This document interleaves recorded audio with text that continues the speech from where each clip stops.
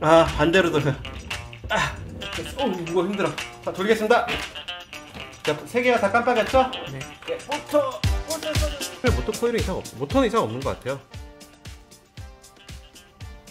이렇게 연결을 해주고 됐습니다 키고 잠시만요 아, 이게 어렵긴 하군요 자, 모터를 뒤로 돌리겠습니다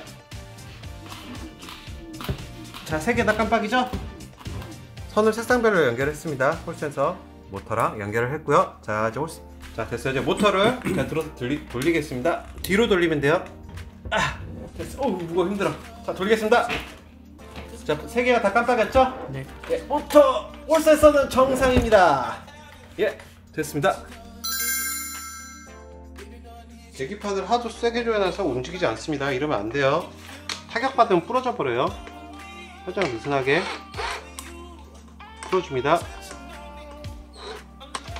자, 지난번 동영상 보신 분은 아시겠지만 이렇게 좀 돌아가야 됩니다. 움직일 수 있어야 돼요. 힘 강해졌을 때는 아예 안, 주, 안 움직이면 문제가 됩니다. 나중에 자, 보시면 실리콘 고무 있죠? 이 실리콘 고무가 있는데요. 비가 오고 나면 물이 그런 먼지 유입이나 물 유입을 방지해주는 실리콘입니다. 이렇게 쑥 끼워주시고 그렇죠?